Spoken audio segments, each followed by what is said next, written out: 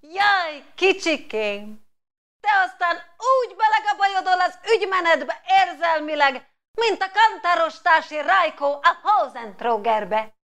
Akkora szíved van, hogy imára kulcsolt kézzel nézed végig a reklám után a társadalmi célú hirdetéseket.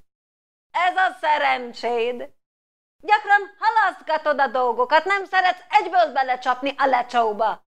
Te nagyon-nagyon jó vagy, egy aranyember. Hozzád képest a Tímer Mihály csak eloxált alumínium. Ellenségei testszörzetiből meg a devla szöljön norvég mintás pulóvert.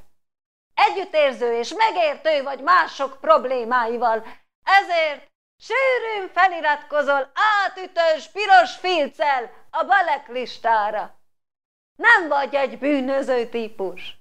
Inkább sértetnek vagy alkalmas, szorgalmasan gyűjtöd a nyolc napon belül gyógyuló sérüléseket. Megérzéseid brilliánsak, kiváló tippadó vagy, és ha elkapnak, tudod tartani a szád. Figyelj! Adok neked egy jó tanácsot, sőt, kettőt. Egy. Ne használd az érzelmeidet eszközként. Ne feledd, ha csak kalapácsod van, mindent szögnek nézel. Nem vagy te se kalapács, se szög, a csengés vagy. Na meg aztán ne ragaszkodjál dolgokhoz, mert házkutatáskor ezek gyorsan lebuktatnak.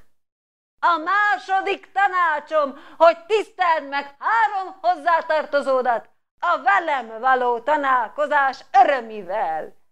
Küldjél tovább itt az alattam található csodamező segítségével. Isten áldjon, és akkor legyen szerencséd, mikor nem várod.